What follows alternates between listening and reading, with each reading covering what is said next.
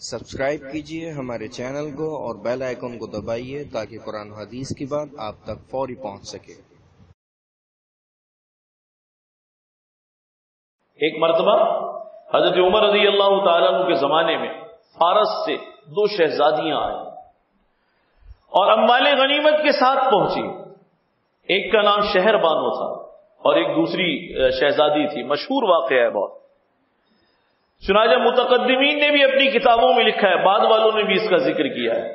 تو لوگ حیران تھے کہ یہ شہزادیاں ہیں اور یہ فارس سے آئی ہیں، پتہ نہیں کس کے حصے میں جائیں گی کسے عنایت فرمائیں گے۔ تو آپ نے حضرت حسنین کو بلا لیا، ایک کو حضرت حسن کے عقد میں دے دیا، ایک کو حضرت حسین کے عقد میں دے دیا۔ اور فرمایا کہ شہزادیوں کے لیے شہزادے مناسب ہوتے شہزادیوں کے لیے شہزادے مناسب ہوتے ہیں۔ اور یقین جانیے، بہت سارے لوگوں نے جو غلط فہمی کی دیواریں کھڑی کی ہوئی جنہوں نے بڑے بڑے پتھر راہ میں حائل کیے ہوئے ہیں، جو یہ ثابت کرنے کی کوشش کرتے ہیں، صحابہ اکرام کا اہل بیت سے اختلاف تھا، اس کا اس سے اختلاف تھا۔ اگر آپ احادیث اٹھا کر دیکھیں، تاریخ اٹھا کر دیکھیں، ان کا آپس میں سلوک اٹھا کر دیکھیں، تو خدا کی قسم آپ حیران رہ جائیں گے، اتنا محبت بھرا سلوک عبداللہ ابن عمر حاضر ہوئے۔ اور آ کر انہوں نے اپنے والد حضرت عمر سے شکایت کی۔ عرض کیا کہ میں اور حسین ہم عمر ہیں، برابر برابر کے۔ لیکن تعجب کی بات ہے، آپ نے تو مجھے کسی گنتی میں نہیں چھوڑا۔ پر میں، کیا بات ہے؟ تو کہنے لگے، میری حالت یہ ہے، پانچ سو روپے، پانچ سو درہم مجھے وظیفہ ملتا ہے ماہانہ اور حسین کو پانچ ہزار سے، ایک روایت میں پانچ ہزار آتا ہے، ایک میں دس ہزار آتا ہے۔ کہ حسین کو دس ہزار درہم وظیفہ ملتا ہے۔ اور مجھے پانچ سو درہم وظیفہ ملتا ہے۔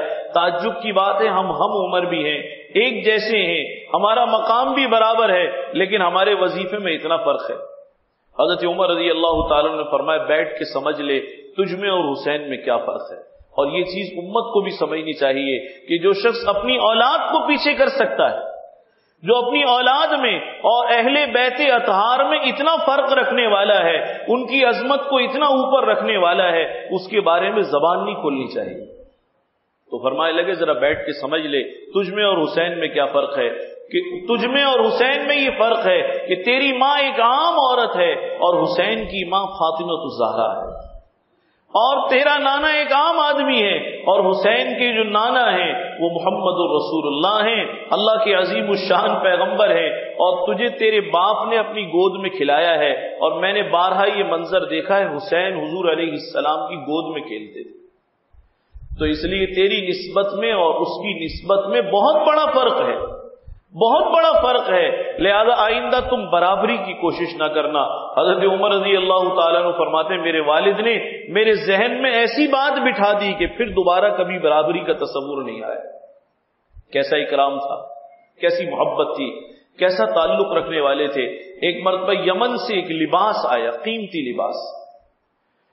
حضرت حسین رضی اللہ تعالیٰ کو حضرت عمر نے بلا لیا۔ اور وہ لباس جسے ہر شخص چاہتا تھا کہ مجھے مل جائے یہ مجھے پہنا دیا جائے، یہ میرے حصے میں آ جائے۔ وہ آپ نے حضرت حسین رضی اللہ تعالیٰ کو پہنایا اور فرمایا کہ اس شخص سے زیادہ، اس نوجوان سے زیادہ یہ لباس پہن کر مدینے میں کوئی حسین نہیں لگتا۔ اس لباس کا یہی حقدار ہے۔ اس لیے میں عرض کیا کرتا ہوں ہر سال کہ یہ دل سے بدگمانی نکال دینی چاہیے۔ یہ دل سے یہ اس بدگمانی کے پتھر کو ہٹا دینا چاہیے۔ بعض لوگ جو کہتے ہیں، صحابہ اکرام میں آپس میں بڑے اختلافات تھے۔ ارے، اختلافات ہمارے دماغوں کے اندر ہیں، صحابہ اکرام کے اندر نہیں۔ امید ہے اس ویڈیو کو صدقہ جاری کے طور پر آپ لوگ ضرور لائک اور شیئر کریں گے اور مزید پرسر پہلوؤں کے بارے میں جاننے کے لیے ہمارے چینل کو سبسکرائب کریں۔ یا کچھ پوچھنا یا جاننا ہو، یا کوئی مشورہ ہو، ہمیں ضرور کمنٹس کریں یا ای میل کریں۔ انشاءاللہ پھر ملاقات ہوگی۔ السلام علیکم ورحمۃ اللہ وبرکاتہ۔